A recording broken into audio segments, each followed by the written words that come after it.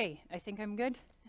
okay, thank you very much, and uh, thanks to everybody for uh, welcoming my daughter. It was a little bit of a, a, change up that we had with the schedule today. I know you were expecting this guy here, um, Alan Smithson, who uh, is a, my husband, Abby's dad, and he had to extend his, uh, his current trip, so he sends his apologies, but I'm here to give his presentation in his place and hope I can do the honors of, uh, replacing him. So once again, my name is Julie. I'm the co-founder of XR Ignite and MetaVRse. Um, I'm also the co-president of the VR ARA uh, Toronto chapter, and I actually hold the co-chair position of the Education Committee on a global level, building best practices and global standards for the XR industry. So I want to introduce you uh, to our MetaVRse family of companies. Um, that include MetaVRse, uh, which is our development house, building strategies, consulting, and building custom developments. Um, we also have uh, LearnXR, which is going to be our education platform in which our mission is to democratize education by 2040. XR Ignite is our, co uh, is our company that we founded to support XR startups, like many of yourselves who are creating amazing things. Um, we're lucky enough to be put into the position of being able to connect the XR startups with enterprises looking for solutions to build XR for their businesses. And then lastly, we have XR for Business. And if you haven't heard of that, it's a podcast, uh, both available on um, iOS and Android. Um, I think Alan's at about 100 different interviews to date, and all talking to major uh, industry leaders on how they're developing XR for their business. So if you're looking for a way to learn, uh, following his XR for Business podcast would be a great way. We're also writing two books on XR, XR for Education and XR for Business. Through our passion of understanding how the applications of XR technologies are to be applied, um, we have within the, our network a wealth of knowledge of how we'll be able to produce this and pull this together. So we look forward to sharing those. So why XR? Why now? And as you can see through uh, this graph, um, the hype cycle of technology and where we've come from in 1990 and uh, through the 2000s and where we are today, being at 2020. It seems like so such a surreal year that it embarks on us where we talked about the year 2020 and it seemed like something in the movies and here we are with less than 30 days until this year approaches and the hype cycle is certainly in full swing as we all know. So um, coming through the industrial revolution of technology, you know, from water and steam mechanic, uh, mechanizing production there, um, through electrical power, automating production and computer and electronics. Now we're at the beginning of the industrial revolution number four. So with Martec's law, obviously we are looking at a change rate of the way that we are about to not only operate in our businesses, but how we're going to learn. And uh, the technology is changing at a, an exponential rate, as many of you know. So um, the gap is widening on how we're going to learn this. And it's great that you're all sitting here today, um, but how do we grow this community of people who need to understand all of these technologies and how to apply, how to build with them, and uh, bring those solutions back into the enterprise sector. So back in 2017, you can see where the hype cycle started uh, with augmented and virtual reality, and didn't seem like such a, a big deal back then. And then we hit 2018, and mixed reality was thrown in there, as well as augmented reality. And um, based on 2019, um, this is the hype cycle for emerging technologies right now.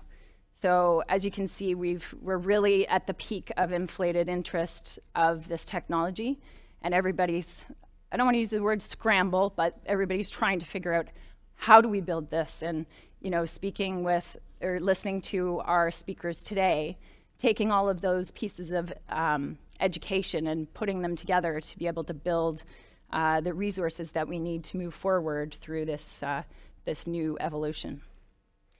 So as many, as you, many of you know, um, 5G is approaching as well. So you know, we had the 1G, 2G, 3G, 4G. Um, hitting 5G, we're going to be looking at 1,000 times of the speed. So we're now looking at 1,000 times of learning and the amount of content that's going to be coming at us at a great pace. How are we going to manage that and how are we going to change learning for everybody? So looking at the brick phone phase, I'm sure some of you can relate to some of these. Uh, we are here and now we're about to converge all these technologies together. Everything from 5G, cloud, IoT, AI, blockchain, and VR and AR. The AR and VR spending forecast globally um, is going to be massive. So, you know, a lot of people like to talk about the consumer applications of this technology, um, but really it's where industry will move the whole industry, our industry, forward in implementing these technologies into business use cases. So the growth in the industry spending by 2023 is supposed to go to 134%. These are some examples of where you will see augmented through XR by industry and where we will see the most beneficial, uh, beneficial ways of using this technology.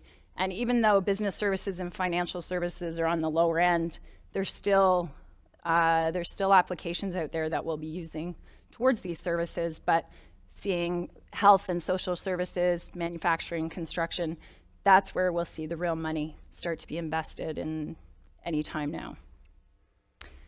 So XR offers the greatest augmentation opportunities. Um, and if you kind of look at this, you know, everything from empathy and support, the science and engineering, um, the technical equipment maintenance, there's so many different applications that this technology can apply to in, uh, in industrial and even in soft skills training for, uh, for multiple industries.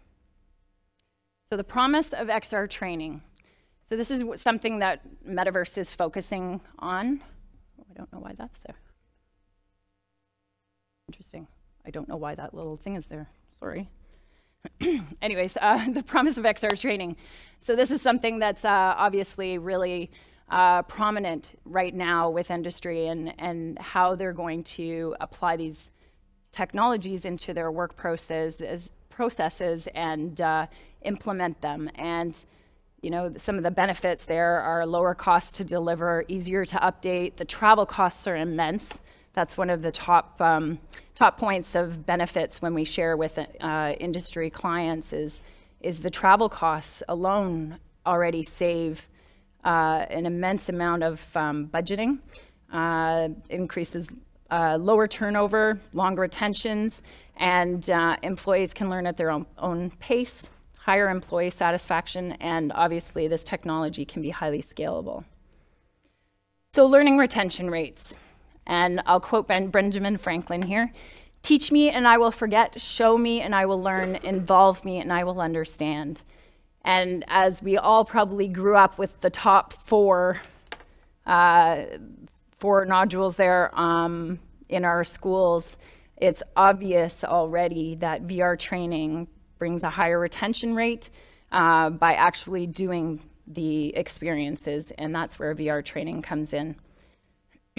and you'll see even by the uh, the models of the, the brains, it's definitely more active when you use AR tasks as opposed to non-AR tasks. Types of immersive training. So we've got 360 video, VR, which is kind of the, the low end of things. Um, it's easy to deploy. Everybody's kind of played around with uh, 360 photo capture and video and requires a headset. Um, it's not really editable, but it can give a great scope to a product or an experience or um, any kind of um, uh, environment that you need to showcase. So it's, it's a great way to train people who have never been in a situation before. Uh, mobile phone AR is where I see a huge potential. Uh, there's going to be, uh, I think it's 2.5 billion devices that will be um, active with augmented reality by the end of this year. And I personally see augmented reality being a huge, um, a huge way to implement into the schools, especially K to 12. Um, not having to deal with headsets in the younger grades is a benefit right there, but being able to provide experiences through augmented reality applications that can be done in a safe environment that kids can interact with. Every single kid you know probably has an iPad or some touch device already, and they probably know more than even the parents. So I can see mobile phone AR becoming um, not only a great tool for industry, but for education uh, right at the grade levels. Uh, then you've got CGI virtual reality. And um, this obviously costs a little bit more, and uh, there's longer development times.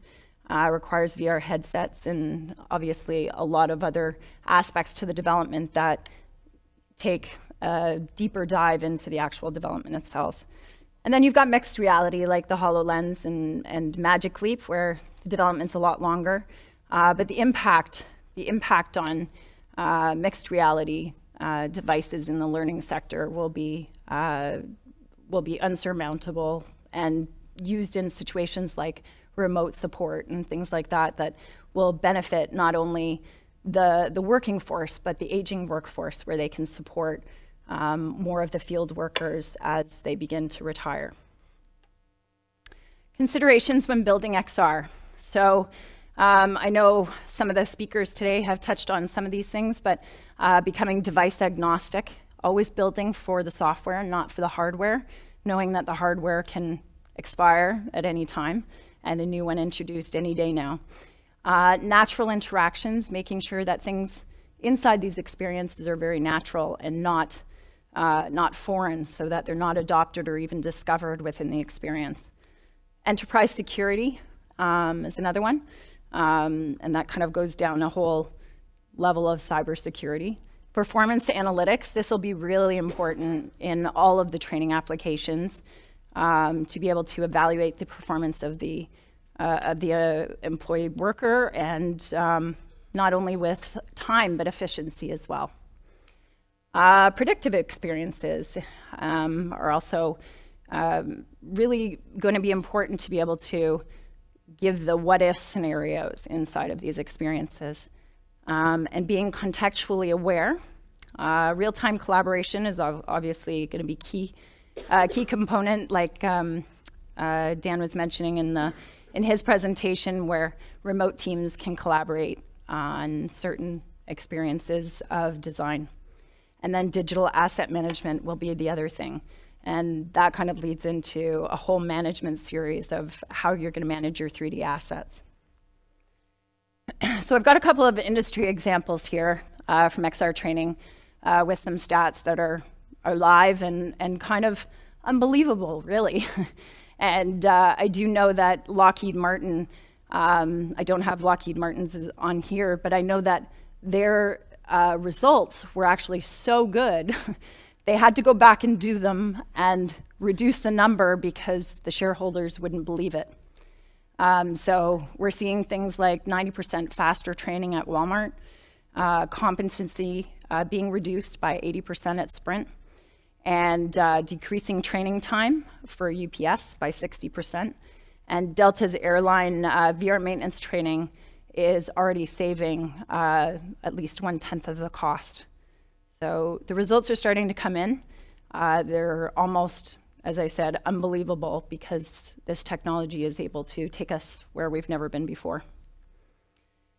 so I'm going to give you a few examples on different ways to learn and train and things that, uh, that we're kind of involved in. Uh, 360 VR training, this is an example of even just taking a 360 photo and dropping in um, you know, bubbled um, points of interest of where things need to be laid out in a store.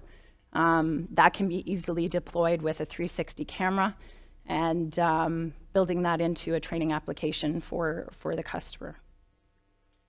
this is a video of, oh, sorry, um, just give you, I'm just going to mute it. It's just a bit of uh, background there. So um, this is a Gasline uh, training application with realistic 3D environments. Um, and uh, there's over a million different configurations that could happen in this scenario. How does one even begin to train for that in a manual? so being able to do this in VR with the possible 1 million different explanations is something that um, virtual reality offers as a great training tool to, to, um, to uh, make sure that the trainer is safe when they're deploying something like this and uh, they can get the job done.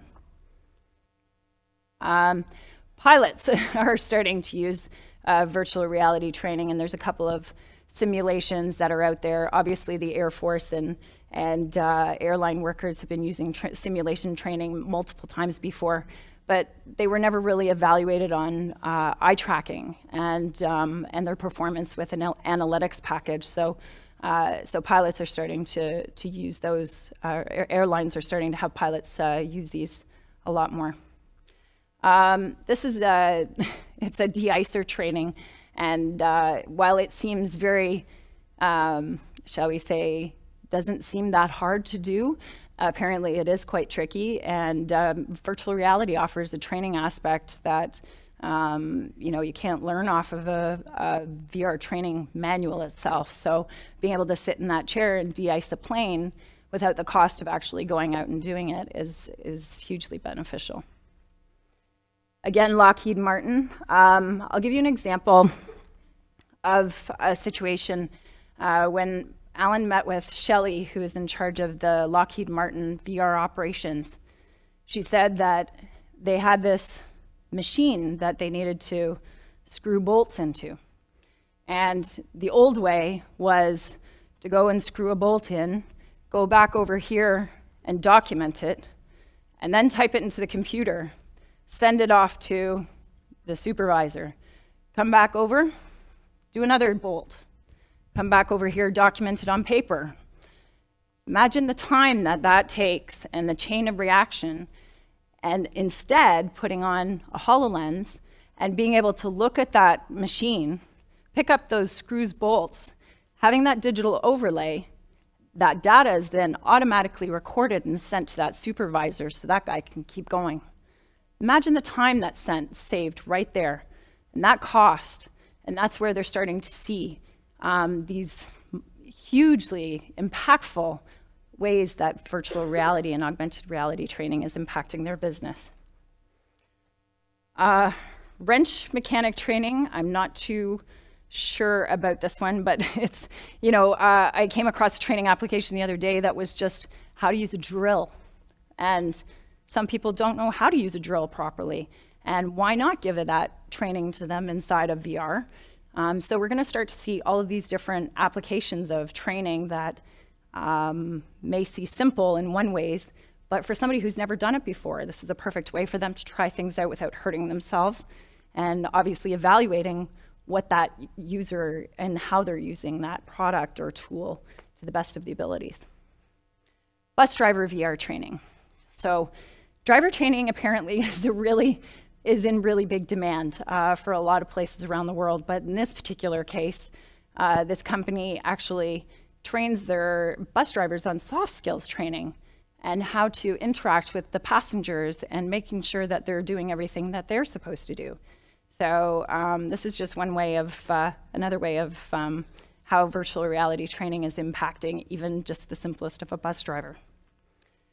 Um, this is the uh, Mica, Magic Leap Mica, virtual reality companion, and I think this is kind of the stem of the conversation of avatars and, and how they'll be able to help us with these remote assists and, and interactions and things like that. So um, this was just a quick video that we took um, and having the, the Magic Leap uh, companion guide the user through their interaction. zSpace. Uh, I'm not sure if anybody's ever heard of zSpace. This is a great way uh, to engage learning.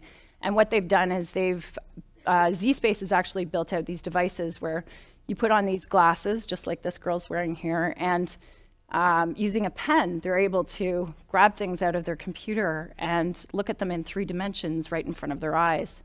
Uh, this is changing learning right at the high school level, obviously, being able to pull, pull items out of their computer and take a closer look, dissecting them, uh, and all sorts of things, taking a look at uh, the skeleton jumping out of the, the screen, how much more engaging and interesting this is as curriculum. I wish they had it when I was a kid. Crane training. So um, there's a couple of companies that are actually doing this, but uh, the retention rates and training rates around the, the VR training and uh, for cranes is actually doing really well, just like excavator training and, uh, and things where you can actually go in there and pull the levers and direct yourself through a, a series of actions that are required by the crane training without damaging anything and, and being tested. And I know Alan actually tried this as well, and he was able to to take the training and go into a crane and actually know and understand, know one understand how, uh, uh, how to use the levers. Another aspect. Forklift training. Again, it comes back to driver training. Apparently, uh, we're supposed to use VR for a lot of this driver training, which, um, you know, right now we usually just get in the driver's seat and good luck and go with it. Um, but this obviously outlines a lot of the safety procedures and things that have to take place when, uh, when you're driving in an industrial type situation. Uh, I believe that's Charlie Fink, if anybody knows him from Convergence. Um, he's trying the, the forklift training at AWE. Um, Caterpillar 8 AR maintenance. This is another one uh, where overlaying the digital data on top of the machine to understand how to fix and repair it. That's another way of understanding how to uh, how to fix things and um, replace filters or um, figuring out where the oil goes. Um, automatically, somebody who has uh, AR glasses that can oversee this data will understand what to do first. Remote assistance, and we had this conversation even at lunch today. Um, this will be huge. Uh, remote assistance will certainly help the, um, the future of training when we have a massive population that is about to retire. So you've got somebody who normally runs a maintenance department, has done it for 40 years, he wants to retire. He can now sit at home and remotely assist somebody who's on the site job training uh, using some of these technologies. And I think this is kind of, you know, the, the remote assist will be the saver of how we're going to evolutionize some of these uh, new students into, into these new roles. Oil and gas training, it's kind of a no-brainer. Um, and all of these uh, training applications are being developed now to overlay the data on top of these machines. There's the Lockheed Martin training I was just mentioning and how they can overlay the data onto all of these different locations where the screws have to go and document every single one. Excuse me. Uh, firefighter VR training. Uh, that's a big one. Um, and uh, there's some great companies out there that are already dealing with this. And, and uh, what better way to train a firefighter in a fake fire than a real one? Um, and while they don't have, obviously, the um, all of the applications of it. Um, there are haptics that are coming out that will give the force feedback of, of, um, of the fire hose. And obviously scent machines and things like that will enhance that experience. So being able to evaluate firefighters through VR training. Police VR training, simulations. Um, I, don't, I think this is a no-brainer for a lot of us, just understanding from a police point of view even um, you know talking somebody off of a, a, ledge. I think I've got that one there. Yeah, talking somebody off the ledge, um, being in a situation where there's hostages and things like this. This type of training is uh, is uh, no brainer to be able to introduce all the different scenarios and be able to practice those instead of in real life.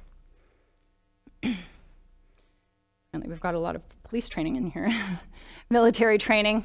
Um, I think that's uh, that's something that's taking place already. There, these this team's wearing Magic Leap, and um, and there's also I know in this particular scenario they had scent machines and things like that to set up the actual scenarios for the, for the team to train. Uh, just a photo of uh, the Walmart training. Um, they the company's driver obviously um, set this up, and they've already begun to see the different types of roles that can be applied to different employees. So when they, and this was something they weren't expecting, so they rolled out this VR training aspect, and then they started to add in um, analytics, and they found that some employees who were just stock people actually had some of the qualities that were best to lead teams. So they managed to discover some of their own employees could be put into different positions that were they were never expecting before. And I think this is the surprise element of this technology is, is discovering all the different ways that uh, uh, this technology can enhance or uh, bring benefits to companies. Uh, and as you can see, Ed's got VR training going on there. Um, it's for every single age group. Kids love VR, obviously. Um, and uh, we've got um, avatars that are starting to become available to help people in certain rooms and learning, uh, learning situations. Um, this is a photo of the National Space Center's X-Lab um, that's already in existence. Uh, they've got everything from the 4D theater testing uh, to the 360 3D full dome and the work workstation. So um, that's something that uh, the Space Center's X Lab is offering. Um, Xennial Digital has a great amount of XR learning modules, and um, uh, we're working with them to activate some of the, the modules in classrooms today. Um, David Attenborough, there's a great experience out there on the British Natural History Museum. And I think this is a great way to learn about history and, and uh, artifacts from the past. And David Attenborough actually hosts this particular uh, experience. If you haven't seen it, it's really cool. Um, Talespin. I don't think there's, video on this. Um, my apologies. I think Talespin, uh, they they they're working on um, avatars, and uh, they actually created this experience where uh, you have to fire fire this guy. Um, I can't remember Barry. That's his name, Barry. And um, this this experience has gone kind of worldwide on on being able to take that this experience into workplaces and and, and train on human resources techniques. And um, this is something that we'll start to see more and more about soft skills training. So that's, that's a little bit about Talespin. Uh, there's some great VR air training companies out there. Um, everything from you know, Active Strivr, PTC is a great one that's working very heavily in industry. Um, Atheer and Eon Reality, UbiMax, upskill. Um, just finally on avatars, I guess we're kind of heading towards the deep fake and uh, understanding who's real and who's not. Um, but all of these avatars will become engaged in that learning lesson of the future. And uh, I guess you kind of have to decipher who's who and who's real. Um, well, kind of I'll really. play this. this I don't. Digital Human Project, which is a collaboration of a whole lot of companies: Epic Games, Three Lateral, Cubic Motion, uh, the Wiki Human Team, Sydney Uni, FX Guide, a whole bunch of people coming together to produce, well.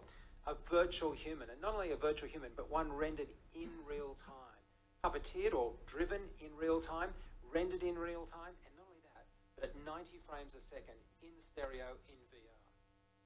We kind of hit that whole uncanny valley right at, well, a little bit earlier on. This video is a little bit earlier, but as you can tell, the technology's coming fast and furious, and, and uh, these avatars will be um, in a lot of our different experiences and helping us guide us through uh, through the work that we have to do or the lessons that we need to learn. Um, haptics. Uh, I want to touch briefly on this. Um, haptics are becoming really important to the to the whole touch and feel and immersiveness of these experiences. And I wanted to share um, a little bit about this experience that Alan had. Um, he headed to a, a, simulation summit in Florida a couple of weeks ago, and he tried out these uh, um, these uh, gloves, which he was. It's a um, it was an army uh, medical army training simulation, and through the gloves, there's all these different uh, tubes um, that feed into the to the fingertips, and he was asked to help a medical in a medical situation. So he goes in and he puts his headset on and he put these gloves on. And the guy who was guiding him said, excuse me, um, said, uh, you know, you've got to save this guy. And he was inside a bunker. The door over here, there was a guy with a gun shooting out into the streets because there was war going on.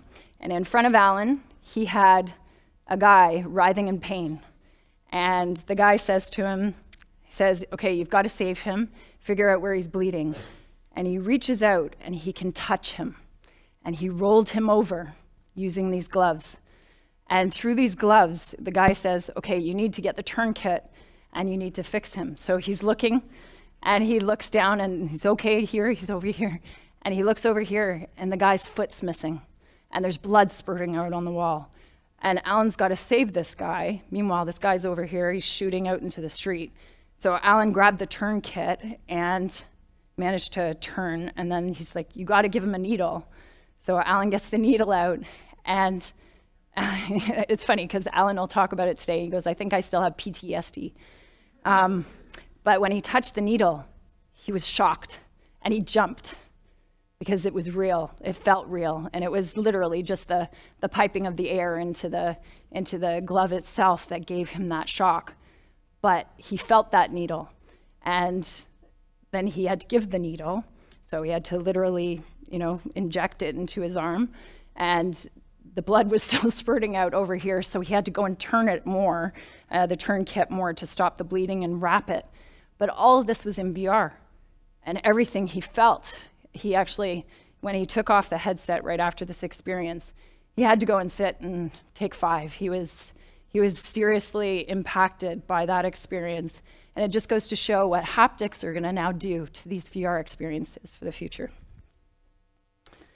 uh, scent machines. And uh, this is an example of one of the scent machines that's out there by VAQSO. And uh, everything from fish to smelling something burnt to a lady to ramen and grass can be implemented into the experiences now. Volumetric capture. Uh, I'm going to run through these really quick. I wasn't expecting to go this long, sorry. Volumetric capture, I just wanted to show you how many capture stages there are around the world. Uh, this was taken uh, in Q2 2019. Um, so you can see that the volumetric capture stages are going to become really important because we're going to need to take those holograms and start implementing them into the VR experiences. Uh, spatial audio, obviously very important to any kind of experience and and there's a lot of great studios uh, around the world that are dealing with that. Uh, this is an example of another spatial audio um, that, was, uh, that was being built in the US. VR in a box, what a great way to have, uh, to be able to transport that to your teams. Um, this is just another example. And uh, just quickly, I wanted to give you this. This was from one of my other presentations, just on the past jobs, present jobs, and then the future jobs. And we need to build these learning uh, applications and education systems to help build these jobs to support this industry. So um, yeah, just a quick there. And finally, uh, VR revenues projected to reach 14.8 billion by 2023. This was the most recent report that just came out from Artillery Intelligence. Um, basically, anybody who's in this industry will do well. There's going to be a job for everybody. Uh, but we have a lot of educating to do to be able to increase the population of people beyond this room and uh, teach those around us. So our mission is to inspire and educate the next generation of youth to think and act like entrepreneurs in an economically, socially, and environmentally sustainable way. And in order to realize this mission, we need to leverage the most advanced technologies and tools in the world and do it now. To learn more, uh, there's some learning for you. This is where we kind of capture all of our learning. Take a photo of that. and uh, sign up for our XR for Business uh, newsletter and listen to the podcast. That's how I learn every, every day. Um, I listen to at least one thing to kind of expand my, my own personal knowledge. And uh, it's one thing that I try to encourage everybody else to do as well. And thank you very much.